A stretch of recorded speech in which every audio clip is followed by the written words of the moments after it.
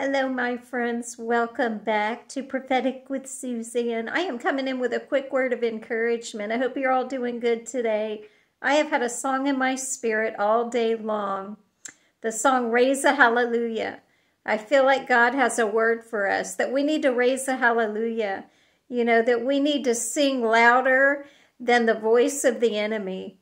You know, we need to keep singing and worshiping and let our worship be louder than the unbelief, than any lies that the enemy is trying to throw our way. We need to keep raising our voices unto the Lord, raising a hallelujah and speaking those words of thanksgiving and praise. I feel like this is going to set somebody free right now.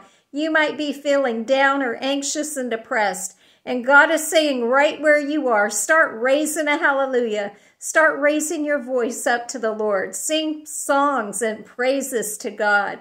And watch the enemy flee in the name of Jesus. We have to keep on praising our way through in Jesus' name. So I love you guys, and I pray this blesses and encourages the right ones today. God loves you so much.